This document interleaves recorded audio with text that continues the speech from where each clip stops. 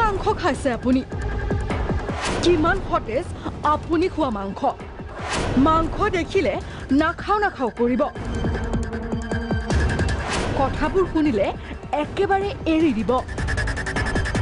মহানগৰত থকা লোকসকলক বিশুদ্ধ ছাগলী মাংস যোগান ধৰাৰ উদ্দেশ্যে N E C food processing private লিমিটেডক দিয়া হৈছিল দায়িত্ব। পিছে এন ই চিয়ে আপোনাক কি মাংস খুৱাইছে জানেনে এইটো ডাঙৰ ডাঙৰ ছাগলী দিয়ে সিহঁতে আমাৰ বুঢ়া মাইকী হয় বুঢ়া ছাগলী পূৰ্বতে কটা মাংস ফ্ৰিজত ৰাখি বজাৰত এৰি দিয়া হয় আৰু ফ্ৰিজে ফ্ৰিজত ৰাখি কিনে তাতে ডি ফ্ৰিজত ৰাখি কিনে দি দিয়ে বিমূৰত পৰিছে মাংস ব্যৱসায়ীয়ে গ্ৰাহকে নিকিনে এন ই চিৰ মাংস কাষ্টমাৰে খাবই নোখোধে যদি মালটো দিওঁ কাষ্টমাৰক ভাল বুলি নেক্সট দিনা আহি আমাক গালি পাৰে। নিকিনে আৰু ঘূৰি যায় সেইখিনি আৰু কি কৰিম। কাষ্টমাৰ প্ৰব্লেম দি থাকে।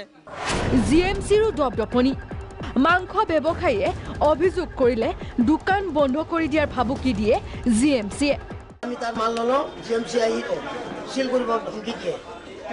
জি এম চি ফিটিং বন্ধ কৰি দিব লাইচেঞ্চবিলাক ৰেনিউ নকৰে আৰু। লাইচেঞ্চ ৰেডি কৰি নিদিয়ে দোকানত ভয় খুৱাই যাব। আহি কিনে দোকানত চিল মাৰি দি গুচি যাব আৰু। এন ই চি প্ৰাইভেট লিমিটেডক মাংস কটাৰ দায়িত্ব দিয়েই চকু মুদা কুলিৰ ভাও ধৰিছে জি এম চিয়ে যাৰ ফলত বেমাৰী বুঢ়া ছাগলী খাব লগা হৈছে মহানগৰবাসীয়ে। ভিডিঅ' জাৰ্নেলিষ্ট সঞ্জয়ৰ সৈতে ভাস্কৰ জ্যোতি প্ৰাগ